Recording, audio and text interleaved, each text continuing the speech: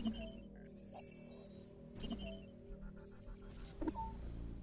Hello everyone, so you want to get yourself the best possible amp for your operator to take down those pesky trees and also to take down those pesky Thrax units. Well in today's video I will be covering the best possible amps to create for a new player and also a veteran player and without any further delay let's get straight into this. So you just started off Warframe, you know you're a little bit day, you know a couple weeks in and you're wondering how to get your first amp. Well, how do you get it? Well, completing the War Within quest will give you the Mote amp. The Mote amp is completely freaking dude do and you want to get yourself something a little bit better. Now, yeah, on the screen right now, you have a little bit of a spreadsheet. On here, you can see tiers 1 to 7 amp parts. Tiers 1 to 4 you can get at Cetus, at Quill Onkko, and the best possible amp that you can get here is going to be the 1, 2, 3. The number corresponding to the tier of part of amp that you are going to be getting. So, of course, the Raplak Prism, the scaffold is going to be Shraksun, and the brace is going to be Lohrin.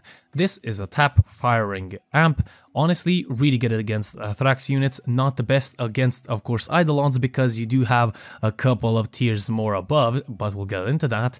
But other than that, this is a really good beginner amp. I have been using this honestly for the longest time just because I couldn't be bothered to level up Vox Solaris, but Honestly, 1, 2, 3, pretty decent, decent stats as well, you can see them on the screen right now.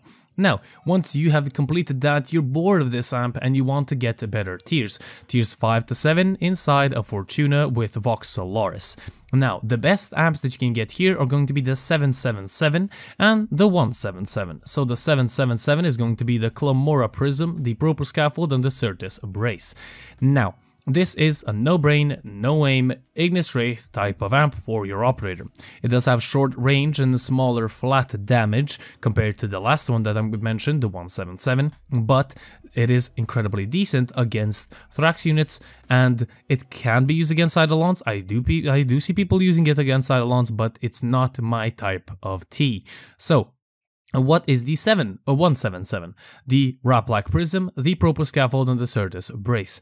Really good range, really good flat damage, and really good critical chance and multiplier stats as well.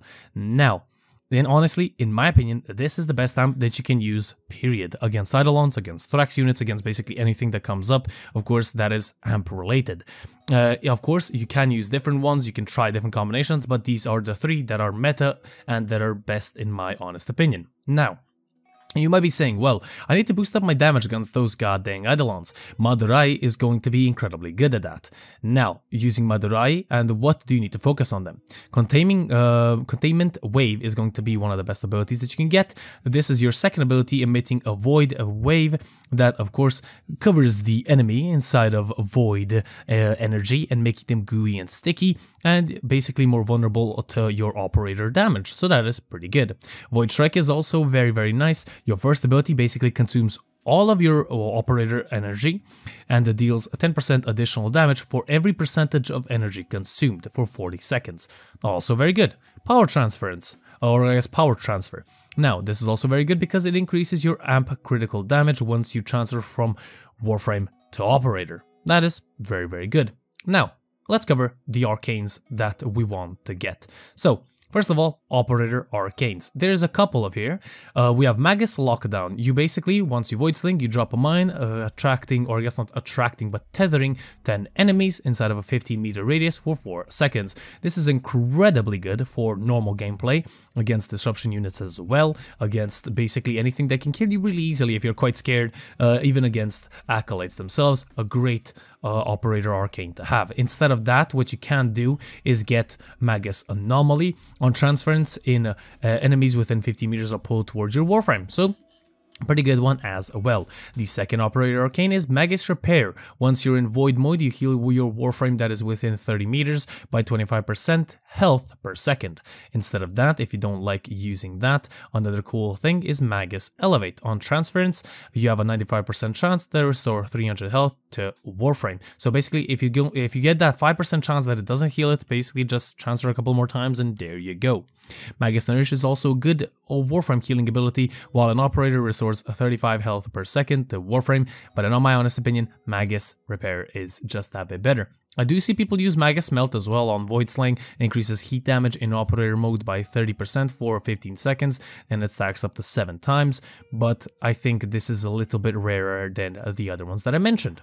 Now, with your amp, you're going to have one slot unlocked. The second uh, operator, oh yes, sorry, uh, the second amp slot, you're gonna have to buy yourself an amp arcane adapter. So you need to go to Cavalero inside of the Chrysalith and basically purchase him for 20,000 standing. You do have to be angel rank, so that's max rank, but uh, yeah, you can get your second arcane for your amp. And what are the best arcanes for your amp? Well, Eternal Eradicate and Onslaught is the best and the most meta arcanes that you can get at the moment. Eradicate on operator ability, you get 60% damage for your amps for 8 seconds. Basically cast either your first or second ability uh, if you're in Madurai, and there you go, you have 60% damage. And Eternal Onslaught on your operator energy depleted, you have 180% critical chance increase for 8 seconds.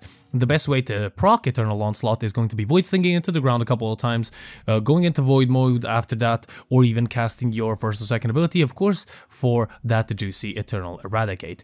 Now, if you do go a couple of steps back into Madurai, if you're fighting, of course, the Eidolons, uh, inside of Madurai, you might remember that we have Void Strike. This consumes all of your energy of your operator, so this could be pretty good.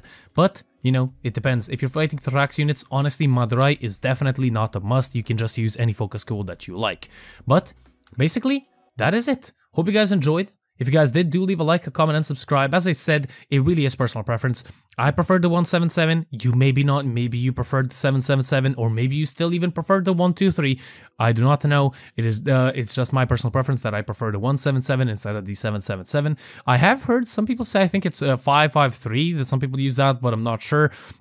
But also, as I said, mix it up, check out some YouTube videos other than mine, of course, about, you know, different amp parts and everything. And that's basically it. Hope you guys enjoyed. Do leave a like and a comment and subscribe. And I'll see you guys on the next one. The Gaming Weasel, over and out.